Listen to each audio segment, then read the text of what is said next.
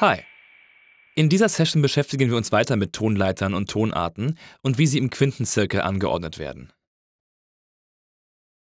Welche wichtigen Tonleitern gibt es neben der Durtonleiter? Eine Tonleiter, die es neben der Durtonleiter noch gibt, haben wir bereits einmal kurz angesprochen. Die chromatische Tonleiter. Die chromatische Tonleiter besteht aus allen zwölf Tönen. Dur war die zweite Tonleiter, die wir kennengelernt haben. In ihr sind die Töne nicht chromatisch, sondern diatonisch, also in unterschiedlichen Stufen angeordnet. Wir haben es mit einer Stufenleiter zu tun, welche eine Oktave in sieben Stufen durchläuft. Darum spricht man auch von einer heptatonischen Tonleiter. Von den zwölf möglichen Tönen der chromatischen Tonleiter werden also nur sieben verwendet. Die übrigen fünf Töne gehören nicht zur Durtonleiter. Dur kommt von Durum und das heißt so viel wie hart. Dur ist ein eigenes Tongeschlecht und wie beim Geschlecht des Menschen unterscheidet man auch in der Musik zwei Tongeschlechter. Das zweite Tongeschlecht nennt man Moll. Die Molltonleiter ist ebenfalls diatonisch und heptatonisch. Mollis bedeutet weich. Hören wir uns das harte C-Dur und das weiche Moll im Vergleich an. Zuerst Dur.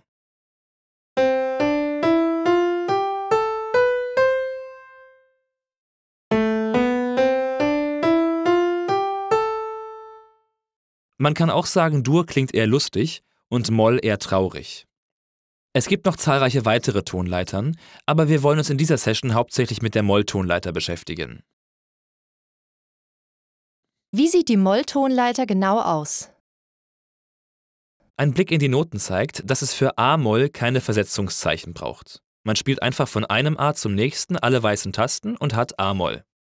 Ein Blick auf die Klaviatur zeigt, dass die Halbtonschritte zwischen der zweiten und dritten sowie zwischen der fünften und sechsten Stufe liegen. Und was stufenmäßig für A-Moll gilt, gilt auch für alle anderen Molltonleitern. Halbtonschritte zwischen der zweiten und dritten sowie der fünften und sechsten Stufe. Wie hängen C-Dur und A-Moll zusammen? Beide kommen mit den weißen Tasten aus. Sie brauchen also keine Vorzeichen. Darum nennt man A-Moll auch die parallele Molltonart zu C-Dur. Es gibt zu jeder Durtonart eine parallele Molltonart. Es ist immer die mit den gleichen Vorzeichen. Die parallele Molltonart steht immer auf der sechsten Stufe der Durtonleiter. Man zählt von C sechs weiße Tasten nach oben und kommt dann auf A. Alternativ kann man auch einfach drei Halbtöne nach unten zählen. Dann kommt man auch auf die richtige Taste. Diese Zählweise ist aber nicht hundertprozentig korrekt, weil es zu enharmonisch verwechselten und damit nicht korrekten Ergebnissen führen kann, wie wir später noch sehen werden.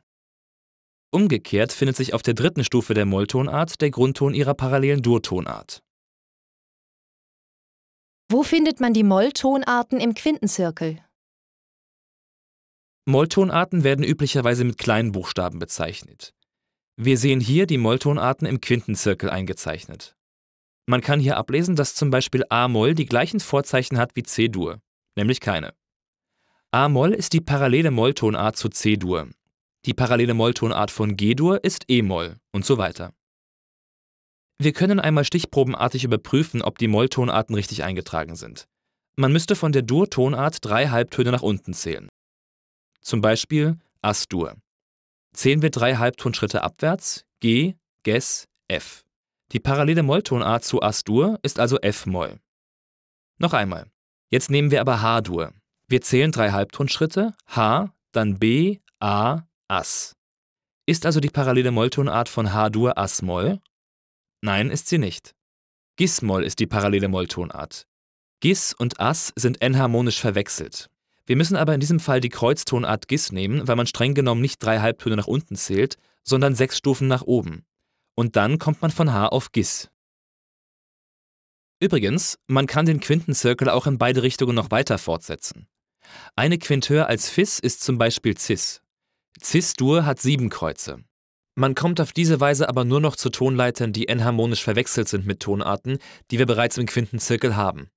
Das sind ja bereits zwölf Dur- und zwölf Molltonarten. In der Praxis werden normalerweise immer diese Tonleitern verwendet, damit man nicht mehr als sechs Vorzeichen machen muss.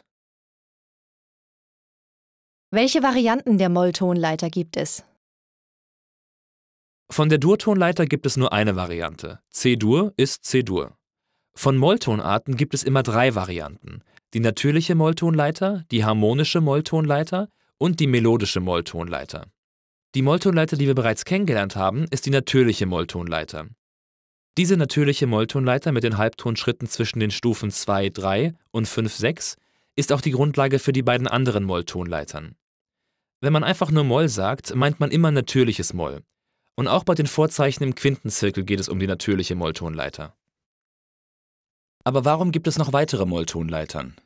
Dazu hören wir uns erst einmal die A-Dur-Tonleiter an.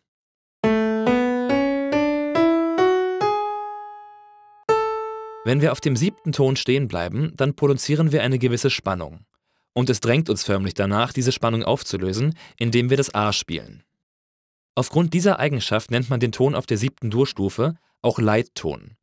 Denn er leitet zum Grundton, zur ersten Stufe hin. Hören wir uns das beim Moll an.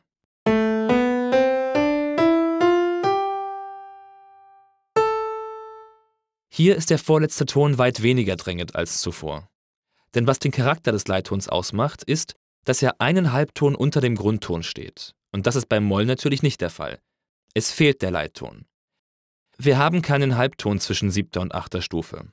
Dadurch zieht die siebte Stufe nicht in den Grundton. Dieses Manko will die harmonische Molltonleiter beheben. Es wird die siebte Stufe mit einem Kreuz um einen Halbton erhöht. Damit schafft man einen Halbtonschritt hin zum Grundton und die Leittonwirkung kann sich entfalten. Hören wir uns den Unterschied an. Zunächst Moll natürlich und jetzt Moll harmonisch. Der Leittoncharakter ist da.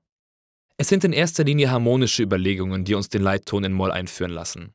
Aber neben harmonischen Gründen gibt es auch noch melodische Überlegungen. Was uns nämlich jetzt stört, wenn wir eine Melodie in Moll harmonisch spielen, ist der große Abstand zwischen sechster und siebter Stufe. Durch das Versetzen der siebten Stufe ist eine große Lücke entstanden. Schauen wir uns einmal an, welche Abstände wir nun zwischen den einzelnen Stufen haben. Zusätzlich zum Halbtonschritt zwischen zweiter und dritter und fünfter und sechster Stufe, die wir beim natürlichen Moll schon hatten, kommt nun auch noch ein Halbtonschritt zwischen siebter und achter Stufe hinzu. Und zwischen sechster und siebter Stufe haben wir die große Lücke. Ganze drei Halbtonschritte machen diesen Abstand aus. Diese Lücke ist melodisch gesehen recht ungünstig oder zumindest eigen. Der Eineinhalbtonschritt klingt irgendwie orientalisch. Dieses Problem wird beim melodisch Moll behoben. Bei melodisch Moll wird die große Lücke verkleinert, indem man ausgehend von harmonisch Moll die sechste Stufe erhöht. Dadurch wird der Eineinhalbtonschritt beseitigt. Wir haben lauter Ganztöne, nur zwischen zweiter und dritter sowie siebter und achter Stufe haben wir einen Halbton. So klingt melodisch Moll.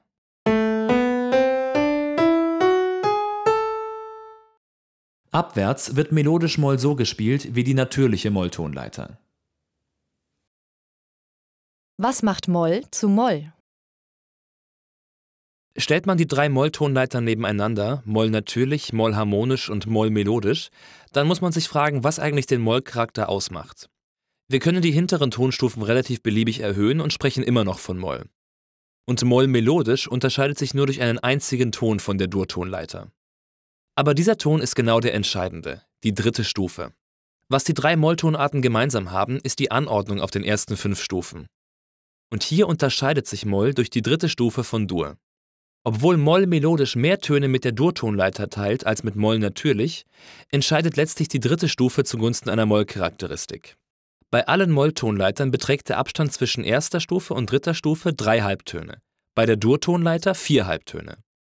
Der Abstand von drei Halbtönen wird auch als kleine Terz bezeichnet. Die kleine Terz macht den Moll-Charakter aus. Vier Halbtöne entsprechen einer großen Terz. Das macht den Dur-Charakter aus. Okay, das war's auch schon wieder. Fassen wir das Wichtigste zusammen. Zu jeder Dur-Tonart gibt es eine parallele Moll-Tonart. Beide haben die gleichen Vorzeichen. C-Dur hat keine Vorzeichen und seine parallele Molltonart A-Moll auch nicht. Die parallele Molltonart liegt auf der sechsten Stufe der Dur-Tonart. Es gibt nicht nur eine Molltonleiter, sondern drei. Hören wir uns also die drei Molltonleitern im direkten Vergleich an. Als erstes Moll natürlich, von der sich die beiden anderen Molltonleitern ableiten. Sie hat Halbtonschritte zwischen der zweiten und dritten sowie der fünften und sechsten Stufe. Erhöhen wir die siebte Stufe, um die Leittonwirkung zu erhalten, so erhalten wir Moll harmonisch. Moll melodisch schließt die Lücke zur siebten Stufe, indem auch die sechste Stufe erhöht wird.